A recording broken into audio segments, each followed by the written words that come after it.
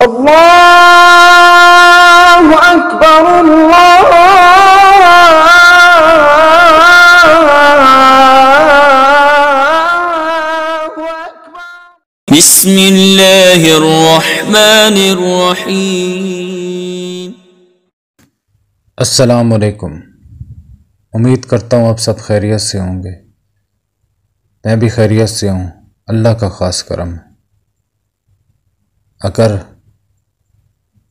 हमारी ज़िंदगी में कोई मकसद हो, कोई गोल हो, कुछ करना चाहते हैं तो उसके रूल्स एंड रेगुलेशन बनाने पड़ते हैं।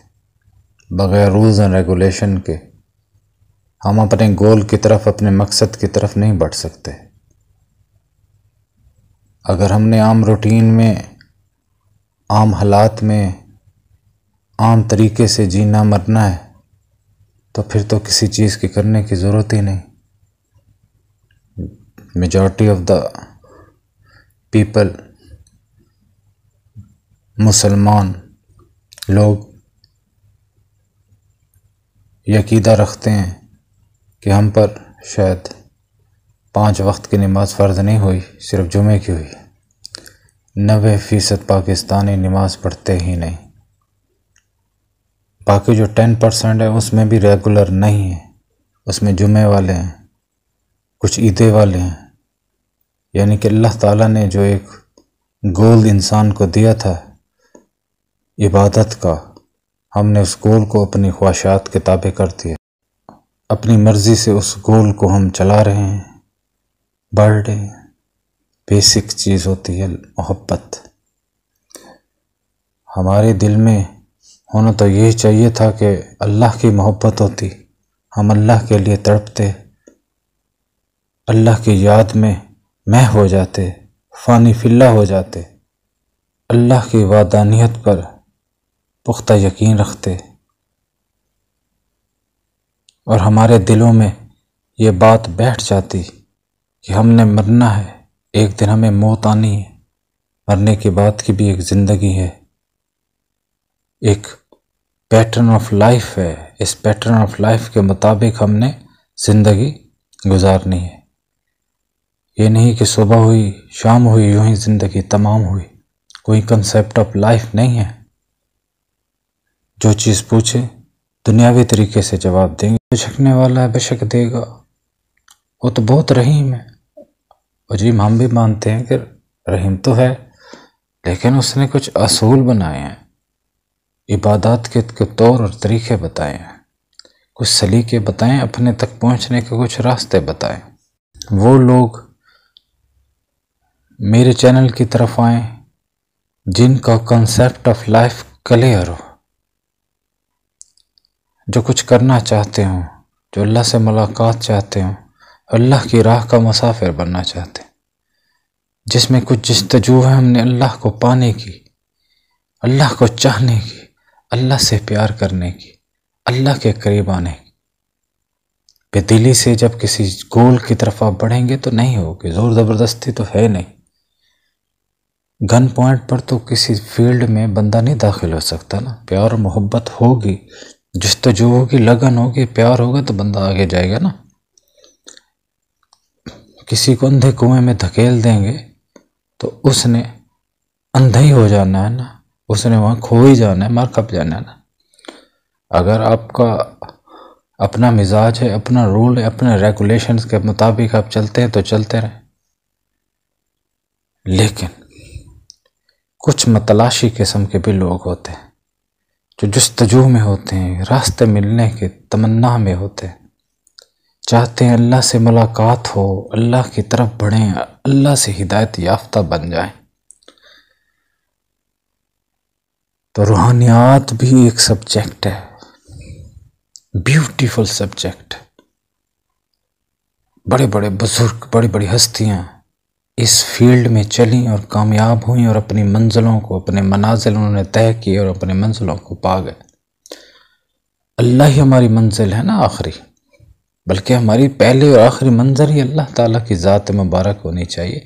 जिसके हम मुताज हैं, जिसके सदक़े में हम खाते हैं, जिसके एक एक लम्हे पर जिसकी हुक्मरानी है एक एक सेकंड पर वो हमारा हुक्मरान है। अपने हुक्मरान, अपने बादशाह, अपने मालिक को छोड़कर हम दुनिया की मौज बस्तियों में गुम हैं, कोई परवाह नहीं है। हम एक जानवरों की सी लाइफ गुजार रहे हैं, सुबह होती है, शाम होती है, दुनिया जहान के काम हो जाते हैं, सिर्फ़ छूटती है तो इबादत छूट जाती है, अल्लाह का ज़िक्र छूट जाता है, अल्लाह का नाम छूट जाता है। नहीं फ़िक्र कि हमें आखिर भी कुछ करना है, आखिरत के लिए भी हमने कोई तैयारी करनी है, आखिर हमने मरना है, अल्लाह को जवाब देना है, कोई फ़िक्र नहीं जी अल्लाह सब सही करेगा। क्या किसी ने कब्र में झाँक कर देखा है? पता नहीं कब्र में क्या होता है। और अजीब अजीब फ़लसफ़े लोग बयान करते हैं, फ़िलासफ़ी लेकर आ जाते हैं। वैसे आगे पीछे का कुछ पता नहीं, लेकिन फ़लसफ़, फ़लसफ़ाना गुफ्तु इनकी बहुत सामने आ जाती। अल्लाह ने एक पैटर्न दिया, एक पैटर्न के मुताबिक हमने चलना है, उसकी इबादत करनी है तो एक तरीके से करनी है, उसी तरीके को फॉलो करना है और उस तरफ़ और उसी तरफ़ हमने फिर बढ़ जाना है। अल्लाह को पाना है। अल्लाह को पाना बेहद आसान है, बेहद आसान है, लेकिन एक तरीके से है। ये नहीं है कि आप नापाकी की हालत में हैं और कहें मुझे अल्लाह मिल जाए। यानी रोज़ नमाज़, रोज़ा, ज़क़़त, ये कुछ हकूक़ुल्लाह हमने पूरा करना नहीं हकूक़ुल्बाद हमने कुछ करना नहीं। हम कहते हैं कि आँखें बंद हों अल्लाह का दीदार हो जाए अल्लाह से मिल जाए, ऐसे ना होना है। फ़र्ज़ी नमाज़ से, ज़क़़त से रोज़े से जब हम हिदायत लेते हैं, हज पढ़ते हैं, अपने दूसरे हकूक़ पूरा करते हैं तो हम पैटर्न ऑफ़ लाइफ में इन हो जाते हैं। अब मसला ये है कि इंसान को पॉलिश कैसे किया जाए? अब हमने नमाज़ पढ़ी, दूसरे गुनाह भी साथ करते रहे। हमने ज़क़़त तो दे दी, हमने हज भी कर लिया, रोज़ा भी कर लिया, लेकिन उसके असल रूह से हम अभी तक दूर हैं। उस असल रूह को किस तरीके से पाना है, उसका क्या तरीका है, उसके लिए उसके भी एक रूल्स होते हैं। रूहानियात में, शुरू में जिस्मानी कमज़ोरियों का, जिस्मानी बीमारियों का एक पैटर्न चलाया जाता है, फिर रूहानी बीमारियों का, रूहानी तौर तरीक़ों का पैटर्न चलता है। तो इस फ़ील्ड में आते वही हैं, आना उन्हीं को चाहिए जो इस फ़ील्ड को लाइक करते हैं, इस फ़ील्ड में आना चाहते ज़ोर ज़बरदस्ती आएँगे, बातों से मुतासर होकर आएँगे तो चंद दिन रहेंगे, फिर चले जाएँ। इस्लाम में एक मंथ बारह है ट्वेल्व पहला इस्लामी महीना मुहर्रम और हराम, फिर सफ़र। रबी रबी जमाती जमाती रजब, शाबान, रमज़ान शवाल जिल हज है। एक पैटर्न के थ्रू ये महीने आ रहे हैं ना। अपनी पिछली वीडियोस में हफ़्ते की इबादत का ज़िक्र किया। अब हम 12 मंथ की 12 महीनों की एक पैटर्न इबादत का ज़िक्र करते हैं। इस रास्ते पर चलते चलते हम अपनी मंजिल को इन ज़रूर हासिल कर लेंगे। और पैटर्न इल्म रूहानियात में सेम ही है। बस हम जैसे रमज़ान शरीफ को हम तीन अशरों में तकसीम कर देते हैं। पहला अशरा, दूसरा अशरा, तीसरा अशरा, ये दस दस दिनों के तीन अशरे होते हैं। इसी तरीके से रूहानियात में हम हर माह को तीन मुख्तलिफ़ हिस्सों में तकसीम करते हैं।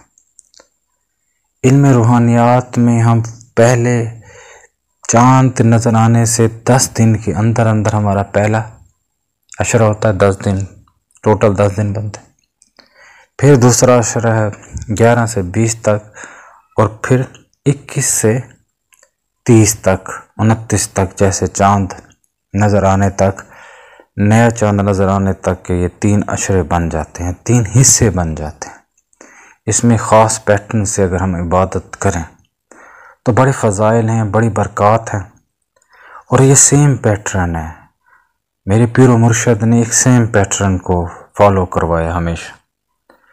वो हर दिन और हर साथ और हर माह के मुख्तलि इबादत का ज़िक्र नहीं करते थे, वो एक पैटर्न से इबादत का घुर सिखाते मुहर्रम का महीना शुरू हुआ, पहले तारीख आ गई, चाँद आपने देख लिया।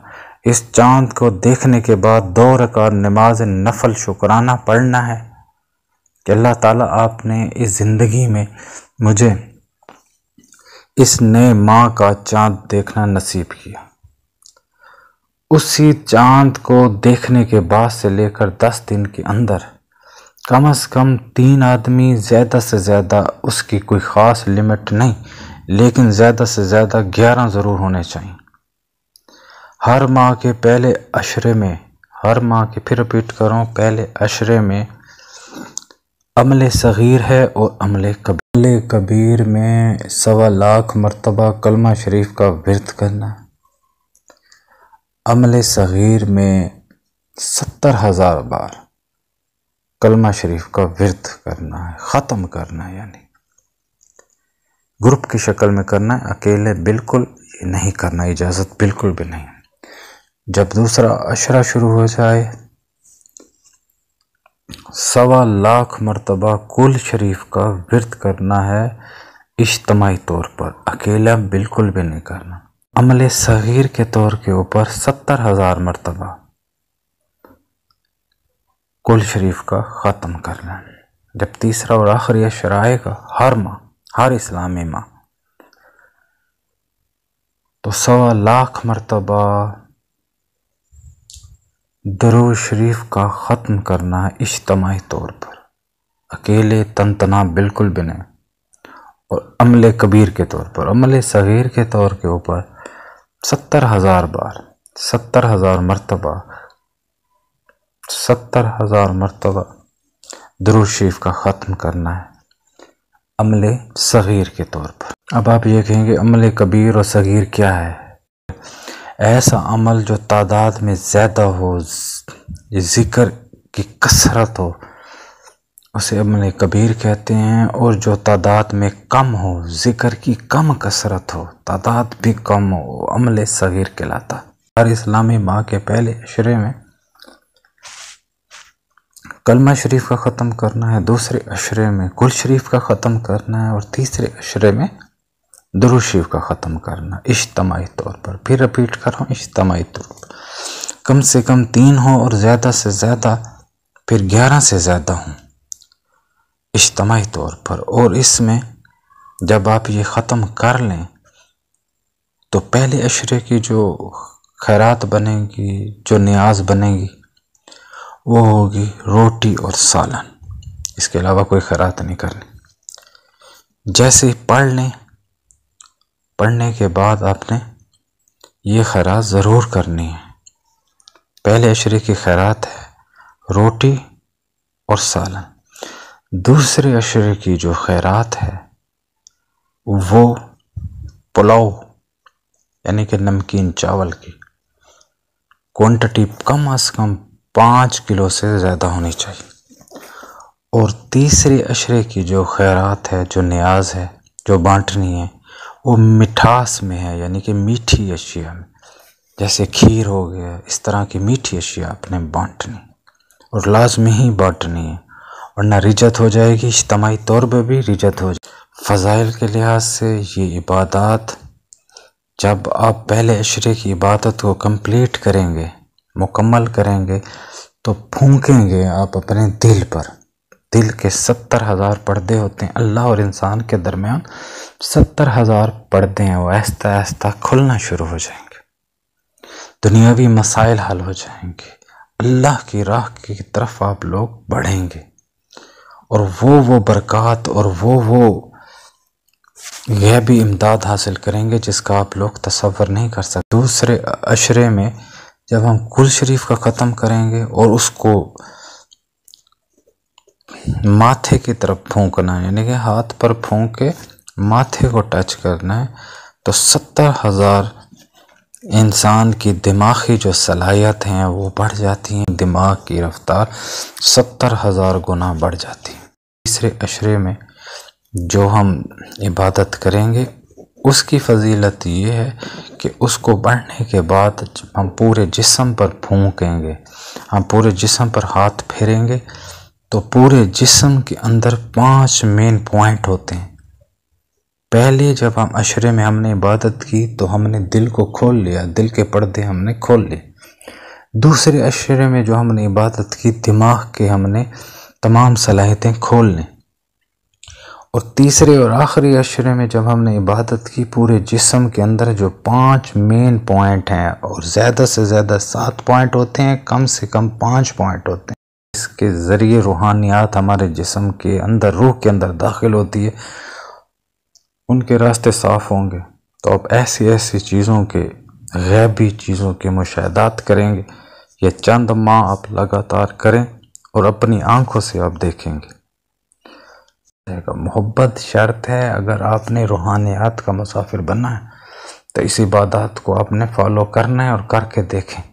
ऐसे अमलियात, ऐसे ख़ास व ख़ास अमल किसी किताब में नहीं लिखे होते। अपनी इबादत करनी है और खुल के करनी है, इसी तरीके से करनी है। फ़र्ज़ इबादत को अपने बिल्कुल नहीं छोड़ना, नफल इबादत को भी जारी रखना है और रूहानियात में अगर आना चाह रहे हैं तो इस पैटर्न से इज्तमाही तौर पर करें। बाज़ों का ऐसे होता है, कुछ ऐसी दुनिया में हैं जो जिनकी गैदरिंग नहीं हो सकती है वो इतने बंदे इकट्ठे नहीं कर सकते, उनकी फैमिली होती नहीं है, बाज़ गैर शादीशुदा होते हैं, उनकी फैमिली बिल्कुल शार्ट कम होती है। तो ऐसे फिर ये सेम पैटर्न से ये ज़िक्र करेंगे, लेकिन उसमें काउंटिंग नहीं कर तो उठते बैठते, चलते, फिरते ये अजगार करेंगे, लेकिन काउंट नहीं करेंगे, क्योंकि काउंट करेंगे तो वो तो वजीफ़ा हो जाएगा। और वजीफ़े में रिज्जत हो जाएगी और बड़े नुकसान इंसानी ज़िंदगी में बजाय फ़ायदे के नुकसान आने शुरू हो जाएँगे। बजाय तरक्की के डैमेज शुरू हो जाएँगे, इंसान तबाह बर्बाद होना शुरू हो जाएगा। तो बिल्कुल तने तनहा, अकेला ये करना नहीं है। काउंट करके, ज़िक्र करना नहीं। जिस दिन आपने काउंटिंग शुरू की, उस दिन रिजत तारी हो जाएगी और बड़े मसले मसाइल होंगे। अगर आपने सेपरेट करना है, तनह तनहा, अकेला करना है तो अनगिनत तादाद में तो आपने लिमिटलेस काउंटिंग करनी है। किसी तस्बीहात से काउंटिंग नहीं करनी। उठते, बैठते, चलते, फिरते, घूमते, हर टाइम हर वक्त। जब आपको मौका मिले आपने ये असकार करने हैं उसी मुताबिक तीनों हिस्सों में डिवाइड कर कर। बारह मंथ को इसी सिलसिले में अपने जारी रखना। रूहानियात में आगे बढ़ते जाएँगे बढ़ते जाएँगे और ख़ुद मुशाहदात करें। मेरी बातों पर यकीन ना करें। जब तक आप ख़ुद मुशाह नहीं करेंगे, आपको यकीन नहीं है कि इसीलिए पैटर्न बता रहा हूँ, ख़ुद आप करके देख लें, आपको मुशाह हो जाएगा। आपको कामयाबी मिल जाएगी, लेकिन वही है कि मोहब्बत शर्त है, खलूस शर्त है। हकूक़ुल्लिबाद को भी पूरा करना है और हकूक़ुल्लाह को भी पूरा करना है और इसी रास्ते का अगर मुसाफिर बनना है तो इसी रास्ते पर चलना है तो चल कर देख लें इन ज़रूर कामयाबी होगी। असल वरहमल वर्का